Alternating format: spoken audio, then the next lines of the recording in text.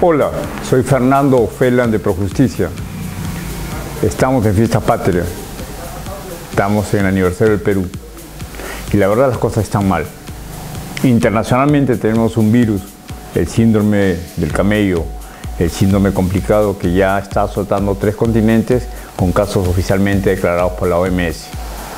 Pues internamente no tenemos camellos, pero tenemos otro tipo de animales y tenemos otro tipo de problemas que son gigantescos tenemos un gobierno débil.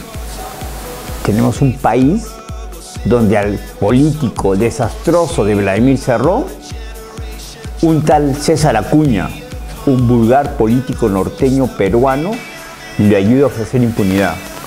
Esos partidos Podemos, Somos Perú, la señora Narro y toda esa gente de una derecha mercantilista y de partidos mediocres son nuestros políticos.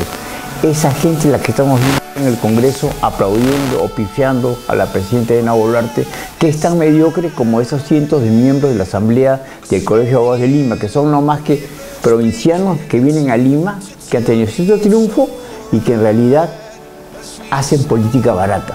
Hemos pasado de chotanos a abogados mediocres.